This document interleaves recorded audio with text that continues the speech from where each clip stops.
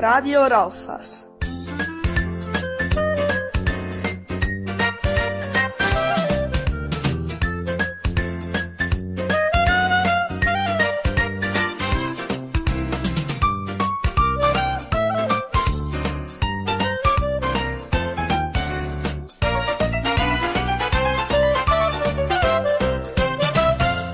Poesie mit Valentin.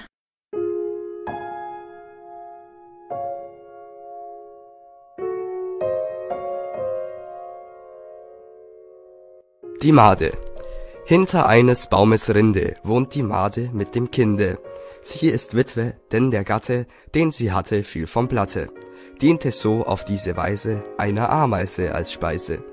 Eines Morgens sprach die Made, liebes Kind, ich seh gerade, drüben gibt es frischen Kohl, den ich hol, so lebt denn wohl.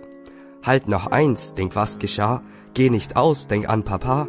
Also sprach sie und entwich, Made Junior aber schlich hintendrein und das war schlecht, denn schon kam ein bunter Specht und verschlang die kleine fade Made ohne Gnade. Schade. Hinter eines Baumes Rinde ruft die Made nach dem Kinde.